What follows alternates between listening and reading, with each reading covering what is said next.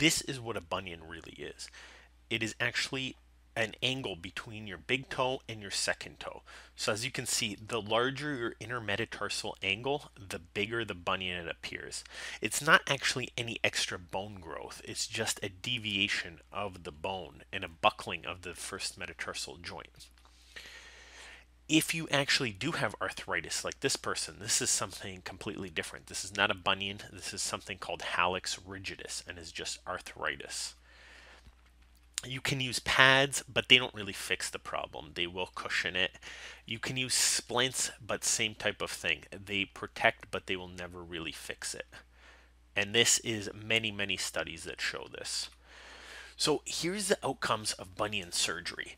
Whether it's minimally invasive surgery or reconstructive surgery, I'll show you exactly what's going on. But these are the types of corrections you can expect to achieve getting rid of the bump. For some people, it may take a bigger surgery to get there. That's the main difference.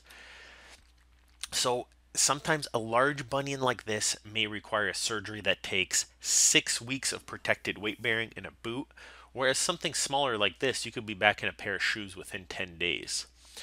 So for the smaller surgeries, you just need a couple pins right here and one bone cut Whereas for a bigger surgery, you have to fix numerous joints, as you can see. So there's other options where you can even lock up the joints, fix the fifth toe bunion as well, fix the second toe. So sometimes you have to do a lot more than just fixing the big toe joint, as you can see in these surgeries. You might even have to pin the toe with a wire if it's crossing over and there's more damage done than just the big toe.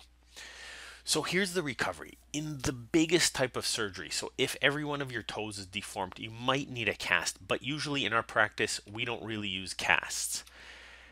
So we can skip the casting and not being able to walk.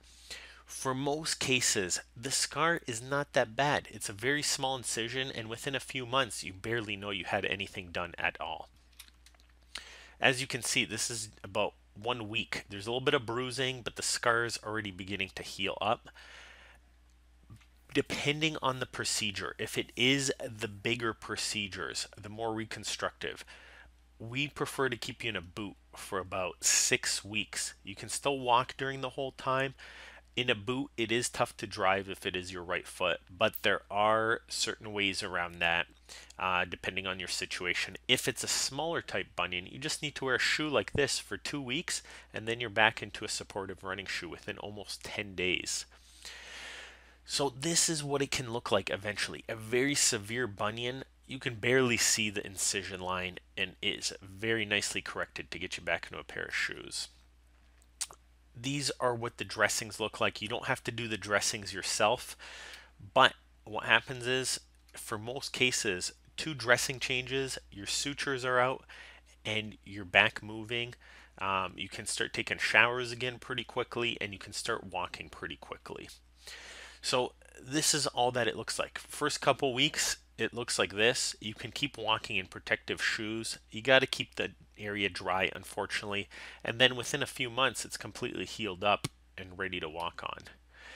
And just remember, wear something supportive, keep them protected, but within a few months, almost all your swelling will be gone and you'll be back almost to 100%.